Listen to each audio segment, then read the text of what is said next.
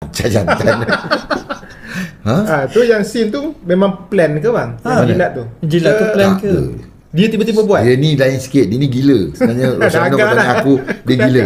Dia setiap benda dia ada benda yang dia akan buat. Dia buat surprise eh. Sekarang ni tengah buat tak silap aku tengah buat syuting Original gangster.